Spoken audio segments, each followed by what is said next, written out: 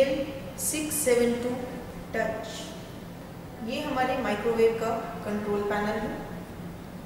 Handle door इसके साथ हमें दो अटैचमेंट्स मिलती हैं।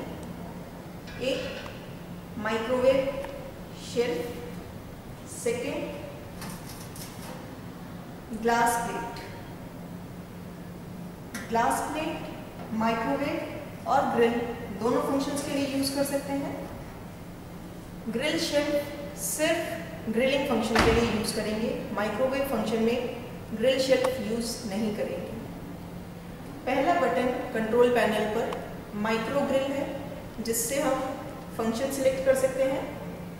Second button auto menu third and fourth button plus minus का है जिससे टाइम वेट सिलेक्ट कर सकते हैं। फिफ्थ बटन क्लॉक और टाइमर है। लास्ट बटन स्टार्ट पॉज और रीसेट के लिए। है सबसे पहले रियल टाइम सेट करेंगे।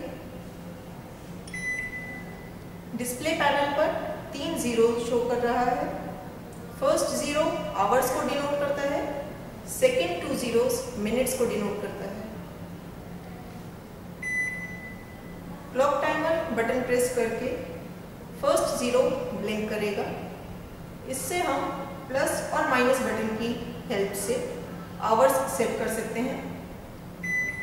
जैसा अभी रियल टाइम ग्यारह बजकर पंद्रह मिनट है, सुबह के प्लस बटन की हेल्प से 11 सेट हो गया है।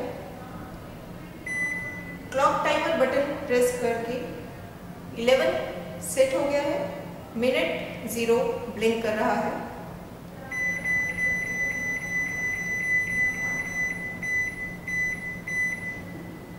प्लस बटन की हेल्प से 15 सेट करके क्लॉक टाइमर बटन प्रेस कर देंगे। रियल टाइम ग्यारह बजकर पंद्रह मिनट सेट हो गया है।